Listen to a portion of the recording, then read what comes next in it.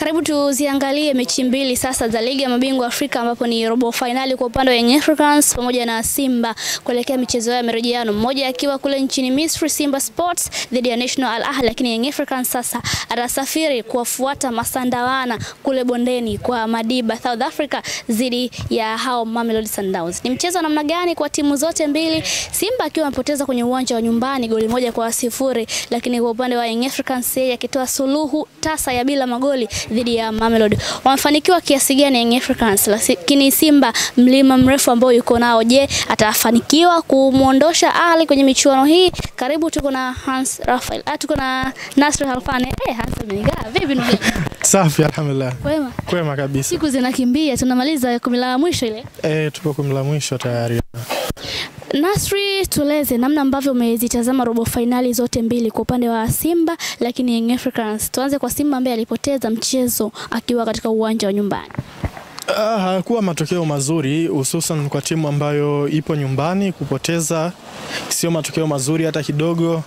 Kwa michezo ya knockout stage ukiwa nyumbani, tena mchezo wa kwanza kitu cha kwanza ni kutafuta advantage ambayo utaenda kuitetea ukiwa away. Bahati mbaya Simba hawakuipata advantage ya kwanza, angalau labda upate ushindi, lakini ushindi ukikosekana, angalau uondoke na ile angalau kwamba umemfanya mpinzani wako asiondoke na advantage ya kupata goli la ugenini, lakini vitu vyote vilivyo Simba wameshindwa kunufaika navyo. Wamepoteza mchezo, lakini wameruhusu pia Ahli kuondoka na advantage ya kupata goli la ugenini. Kwa hiyo ni matokeo ambayo hayakuwa mazuri kabisa kabisa kwa Simba. Kwa upande wa Young Africans, tathmini fupi kwa kile ambacho kimefanyika. Watu walikuwa wakizungumza kama mchezo mgumu, lakini pia wakimrate uh, Mamelodi kuja kufanya maajabu au kufanya kitu cha tofauti kwenye uwanja wa Benjamin Mkapa kutokana na ubora wake.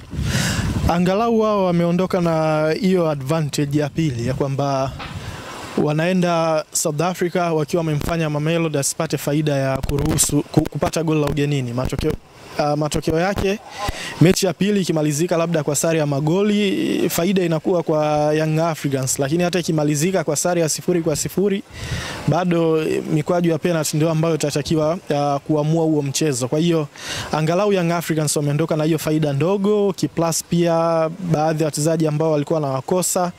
Kwa hiyo wao angalau haijaa mbaya sana, angalau kuna kitu ambacho wameondoka nacho hapa nyumbani. Unadhani nini ambacho kimewafilisha Simba kwenye eneo la uzuiaji? Watu huwa wanasema hivi safu yao ya ulinzi inapitika, lakini pia kwenye eneo la umaliziaji tuliona nafasi ambazo walitengeneza, lakini wakashindwa kuzigeuza kuwa magoli. Nafikiri ni rahisi sana kwa ajili vitu ambavyo wanavifanya kwa akili tu ya kawaida vinaonekana kwenye safu ya ushambuliaji ni kwa ajili hawajatumia chance ambazo wamezitengeneza. Timu haina muunganiko mzuri kwenye eneo la mbele.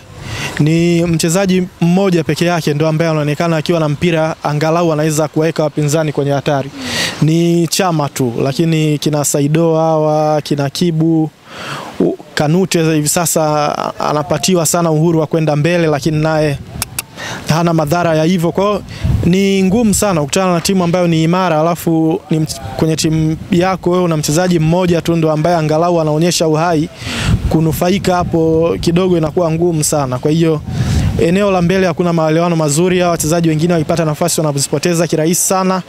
Kwa hiyo ni timu ambayo ina relay kwa mtu mmoja peke yake, timu nzima inamtegemea tu Chama peke yake, kwa hiyo kidogo hapo kunakuwa kuna mtihani, lakini eneo la nyuma uh, mchezaji mmoja mmoja wanafanya makosa, muundo wao wa kiulinzi sio mzuri.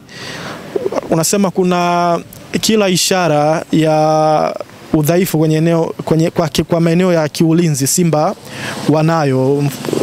Umeona goli ambalo walifanya walilofungwa, kwanza hakuwa na muundo mzuri wa uzuiaji, magepi yalikuwa makubwa sana lakini bahati nzuri Inonga naye alikuwa sehemu ambayo angeweza kufuta ile kosa na yeye akaenda akafanya kosa pia juu ya kosa.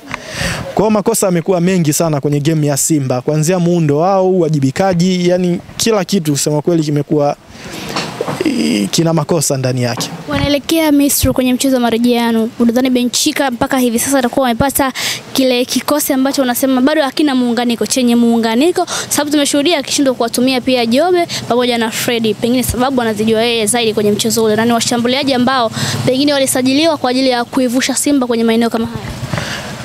Mimi sidhani kama ni ishu ya washambuliaji kutumika ama wasitumike.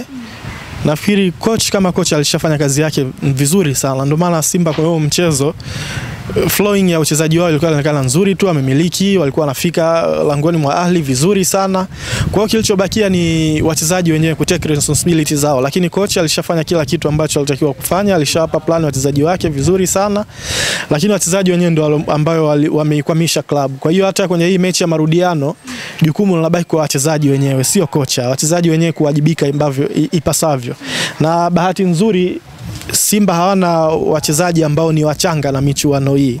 Kwenye ile first 11 yao wote wameshacheza mara kwa mara hatua kama hizi, kina Kibwa hawa, sijui kina Saido Chama, kina Mamidi Huseni, Ayub, yani wachezaji ambao si wageni na level kama hii. Kwa hiyo ni hao wachezaji wenyewe kuangalia wapi ambapo walikosea kwenye mechi iliyopita, alafu waende wakarekebishe kule. Kwa hiyo wana group ambalo na wachezaji ambao wenye experience ya kutosha. Mimi naamini kabisa kama wachezaji wa Simba wataweka umakini, umakini ambao unahitajika kweli kwenye levo kama hii, wanao wachezaji ambao wanaweza wakapambana vizuri tu na Al Ahly. Kule uh, Egypt. Yes, wanao wachezaji ambao wanaweza wakapambana na Al Ahly Misri huko. Kwa Young Africans pengine ni faida kwao kutoa suluhu ya bila magoli hapa au kuna kitu wana miss?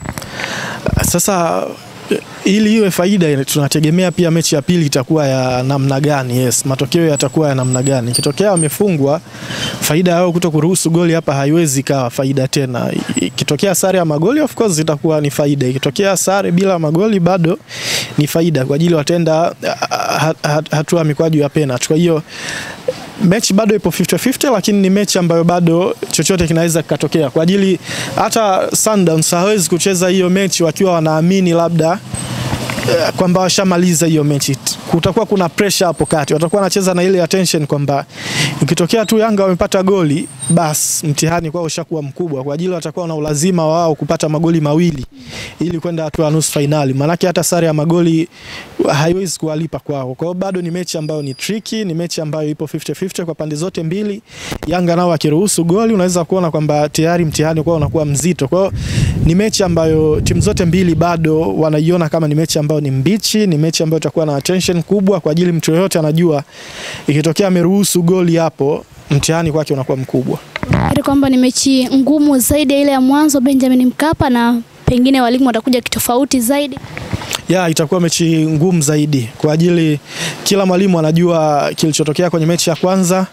Hivi sasa walimu watakuwa wamejuana zaidi. Of course mwanzo wanao ma video analyst wamewasaidia wamewasaidia kujua vikosi vya mpinzani wao. Mfano tuliona Roland Mukwena hapa jinsi ambavyo alikuwa anawataja wachezaji wa Young Africans, alikuwa anafahamu vizuri na alikuwa sio tu anawataja, anawataja na sifa zao kabisa. Kwa hiyo alikuwa anafahamu vizuri, lakini kwa jinsi ambavyo alicheza nao, angalau watakuwa na picture sasa kwamba inawezekana kwenye mechi ya pili watakuja namna na, namna gani. Inawezekana wakaja vile vile na akili ya kujilinda zaidi, inawezekana akawachia zaidi position kwao. Kwa hiyo tunategemea kwamba bench la ufundi la Mamelodi watakuja na majibu gani ya, ya kimchezo kutokana na mechi ya kwanza ilivyoisha hapa, na Young Africans pia watakuja na mchezo wa namna gani kutokana na mechi ambayo imechezeka hapa Dar es Salaam. Kwa hiyo ni mechi ambayo itakuwa ni mpya kabisa, na makochi wote wawili inawezekana wakaja na idea mpya za mchezo kutokana na mechi iliyomalizika Dar es Salaam.